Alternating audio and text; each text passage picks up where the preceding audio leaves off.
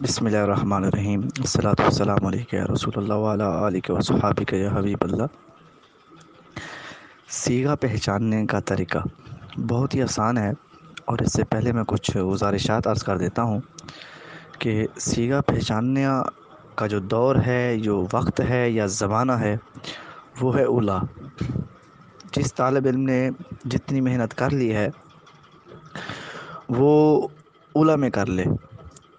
इसी के अंदर ही उसके अंदर काबिलियत पैदा हो जाती है कि आया कि वो उसने सीगे को पहचानने में कितनी महारत हासिल कर ली है। क्योंकि उसके अंदर अलग अलग बाब की बहस की जाती है। जबकि मराहुल अरवाह के अंदर इस तरह की गुफ्तु है, सीगों पर कलाम किया जाता है। मगर उसका अंदाज़ बहुत ही निराला है। मगर इब्तदाई तालब इल्म के लिए वही चीज़ है कि वो ओला के अंदर ही अपने आप को इस मामले में संभाल लिया तो ठीक है, नहीं तो फिर वो बेचारा लुढ़क जाता है। अब मैं जो अर्ज़ करने लगा हूँ, वो ये है कि सबसे पहली बात यह है कि तालब इल्म जब जिस सीगे को तलाश कर रहा है, उसको, उसका माना ज़रूर आता होगा। अगर माना नहीं आता तो फिर उसको उस लफ्ज़ का मादा ज़रूर आता होगा। और अगर मादा भी नहीं आता तो फिर उसका वज़न, बर वज़न उसको ज़रूर आता होगा कि किस बाब से है। यानी उस सीगे की कहने का मकसद ये है कि आप जिस सीगे की तलाश में कांट छांट या तालील कर रहे हैं या जिसकी तालील हो चुकी है, उसकी वजाहत कर रहे हैं, वो अब आपने देखना कि इस सीगे को में से मुझे क्या आता है।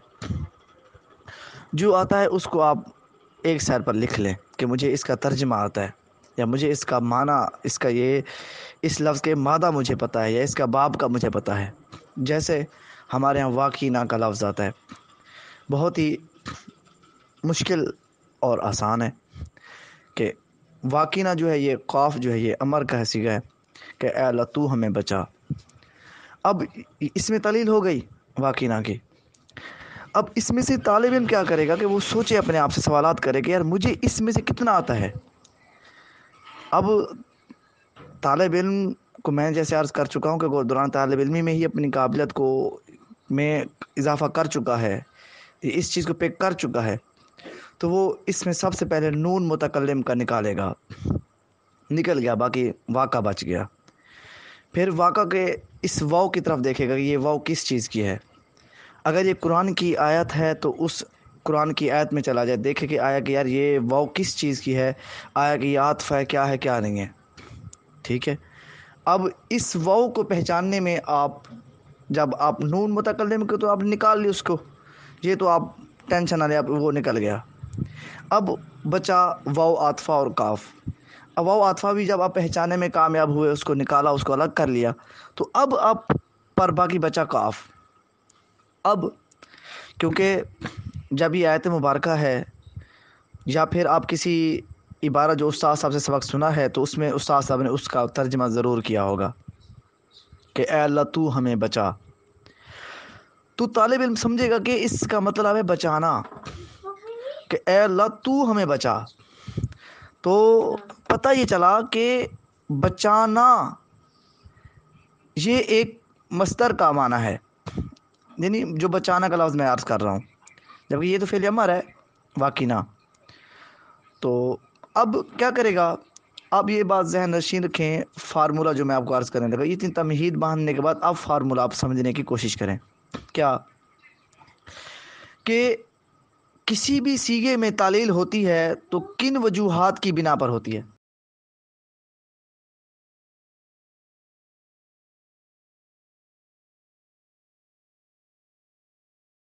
वो हरूफ इल्लत की वजह से होता है।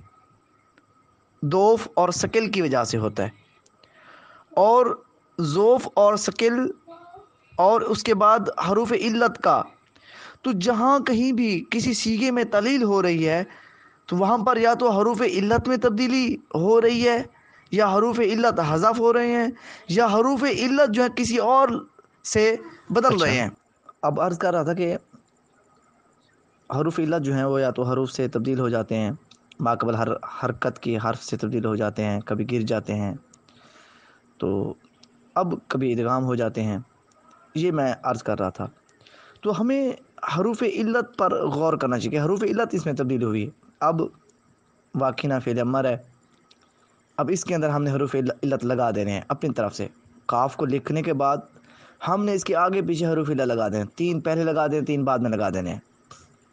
यानी वाव अलिफ या को इस काफ से पहले लगाएँ और काफ के बाद में इसके बाद फिर आप वाव अलिफ या लगाएँ। क्योंकि आप ने जब आपको पता चल गया कि इसका तर्जमा कि अला तू हमें बचा अमर का सीगा है तो अब हम अमर के कवायद अपने जहन में दोहराएँगे।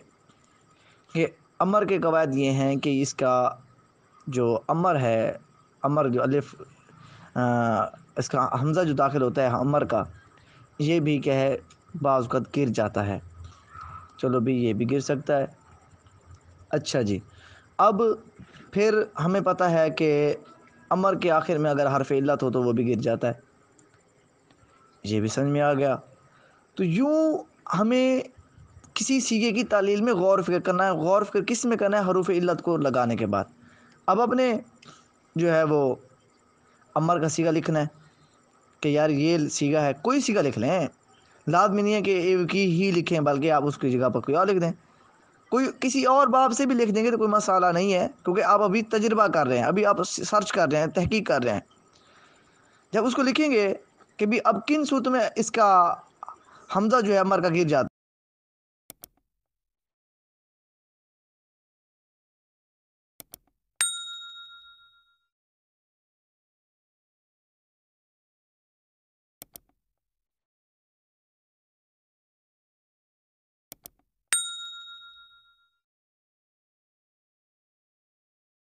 अलिफ जो दाखिल होता है, अमर का वो गिर जाता है। किस सूरत में? वो आप सूरतें लिखेंगे, दर्ज करें। मैं समझता हूँ कि वाकई इसमें देर लगेगी। वाकई देर लगेगी। मगर ये एक बार तहकीक करनी पड़ेगी। जब आप एक बार तहकीक कर लेंगे, फिर आपको दोबारा इस तरह की तहकीक करने की ज़रूरत नहीं पड़ेगी, प्यारे भाई। फिर आप भागते जाएँगे। ये दो चार बार ऐसे होता है। अच्छा फिर आपने देखा, फिर आखिर में हरफ इलत कैसे गिरते हैं? फिर वो दो चार मिसालें लिखेंगे। अब आप गौर करेंगे उसके अंदर मादे, मादा आप बना रहे हैं।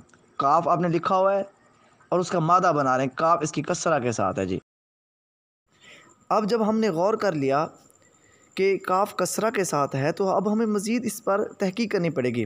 क्योंकि कैदा ये है कि या माकबल मकसूर चाहती है तो हमारे जहन में ये आएगा कि हाँ यार, इस कसरा के बाद या भी हो सकती है। ठीक हो गया, एक बात जहन में आ गई। और दूसरी बात यह है कि जब काफ कसरा पर, कसरा आई है तो आया कि किन किन बाब के अंदर जो है वो फ़ेल अमर के अंदर उनके कसरा आता है। ये हमने गौर करना है। अब जब ये जहन में आया तो हम फ़ौर हम उन अबवाब को देखना शुरू कर देंगे कि किन किन अबाब के अंदर जो है ना कसरा आ रहा है उनके नीचे। तो अब जब ये गौर करेंगे इन शजल वो सीगा और उसका जो मादा है या वो बाब है या बरवज़न है, वो आपके सामने आ जाएगा। क्योंकि आपने वो बाब लिख देंगे, या तीन, चार, दो तो एक, दो, जितने भी होंगे वो आपने लिख देने अच्छा लिखेंगे तो आपके सामने वो क्या है, वो आ जाएगा। हाँ यार, अब आपने गौर करना कि यार इसका, इसके ऊपर भी कसरा आई हुई है, इसके नीचे भी कसरा है, इसके नीचे भी यानी कसरा है। तो अब क्या करें? अब आपने, क्योंकि दो चीज़ें जहन में आपके आ गई। एक तो कसरा के बाद या होती है, क्योंकि ये कहता है कि या माकबल मकसूर चाहती है। या वो या माकल मकसूर बदलेगी तो फिर या नहीं गिरेगी। अगर या गिर, या नहीं गिरेगी तो वो या गिर जाती है। ये एक कैदा है। आप पढ़ चुके होंगे इसके अंदर। तो यूँ ये भी एक काफ कसरा के वो हमने इस तरह हल कर लिया। अब अपने क्या करना है? इसका मुंजे से मादा ढूँढने की कोशिश करना है। पहले आपने शुरू में अलिफ लगा देना है, आखिर में वाव लगा देनी है। या शुरू में या लगानी है तो आखिर में अलिफ लगा दें तो यूँ ढूंढते रहें। ढूँढने के बाद आपको इन जल वो सीगा आपको मिल जाएगा कि मादा इसका मिलेगा या इसका ये है। जैसे आपको मादा मिलेगा, उसका बार वज़न भी मिल जाएगा, बाब भी मिल जाएगा। जैसे बाब मिलेगा, फिर आप उसमें बिल्कुल तसली से आप उसकी तालील क्या है, कर सकते हैं कि एव की था, इधर इधर बी के वज़न पर है, ठीक है तो ये आखिर में जो है वो गिरा, फिर हमज़ा कती जो है, जो हमज़ा जो होता है, वो भी गिर गया। फिर वाओ की हाजत ना रही, क्योंकि हार हरफ साकिन से इब्तदा नहीं होती, वो भी गिर गया। फिर खाली काफ बचा तो लगा। तो गोया के सारा मुद्दा खुलास कराम ये था कि बर करम किसी भी सीगे में तलील आप करना चाहते हैं, तलील उसकी हो चुकी है। अगर आपको मादे का पता नहीं है, छोड़ दें। बाप का पता नहीं है, छोड़ दें। तर्जमे का पता नहीं है, छोड़ दें। उसके अंदर हरूफ इल्लत देखें कि यार कहाँ कहाँ हरूफ इल्लत आगे पीछे हो सकते हैं। क्योंकि हमें पता है, क्योंकि हमने तो बाब इफ्तियाल से कवायद शुरू होते हैं उससे लेकर लफीफ तक हम पढ़ चुके हैं कि कहाँ कहाँ हरूफ इल्लत आगे पीछे हैं, कहाँ कहाँ गिरते हैं। फिर अब वहाँ पर लगाते जाएँ, उसको बढ़ाते जाएँ, कहीं गिराते जाएँ, कहीं किसी को तब्दील करते जाएँ। इन शजल वो आप सीखा पहचान जाएँगे। बस मुद्दा खुलास कलाम यही है कि आप सीगे के अंदर हरूफ इल्लत तलाश करेंगे, इसके अंदर कौन सा हरूफ इल्लत था और वो कौन सा कहाँ गिरा और कैसे गिरा और किस से किसी से तब्दील तो नहीं हुआ? हरूफ तीन है अलिफिया हरूफ तहजी पूरे उनतीस में तहकीक नहीं करनी से तीन हर्फ। यही आप उसको, आप जहन में नशी कर लें इन जल आप काफ़ी हद तक महारत हासिल कर लेंगे। ये सिर्फ़ मेरा तजुर्बा है। बाकी औरों का भी ज़रूर होगा। ये जो मैं अपने नाकिस अक्ल से और इस जो मेरी तदरीस है या दौरान तालब इलमी से जो समझा हूँ मैं वो आपकी बारगाह में मैंने पेश कर दिया है। अल्लाह ताला बेहतर जानता है और क्योंकि हर उस्ताद का एक उस्ताद होता है और हर शगीद का एक उस्ताद ज़रूर होता है। तो बहरहाल मैंने जो मैंने समझा हूँ, वो अब आपकी बारगाह में पेश कर दिया है। जजाकल्ला खैर कसीरा। असल वरहमल वर्का